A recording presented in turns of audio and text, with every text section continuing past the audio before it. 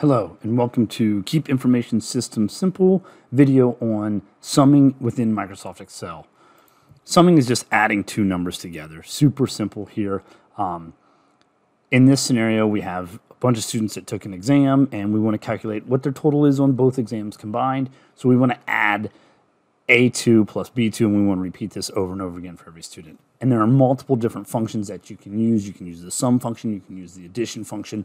Um, to do that, to start a function, you start with the equal sign equals A2 plus B2, and that's going to add them together. We can also do equals sum, which is another function within Microsoft Excel, highlight all of the cells that we want to sum together. Now, the sum function is probably better used when you have to do a bunch of cells instead of, you know, A2 plus B2 plus C2 plus D2 plus E2. You can just give it a range, equals a3 or equals sum A3 to B3, close your parentheses, and either way. And this is just adding all of these cells together. Um, that's the sum command. Super simple, um, but super common that we need to add a bunch of numbers together in Excel.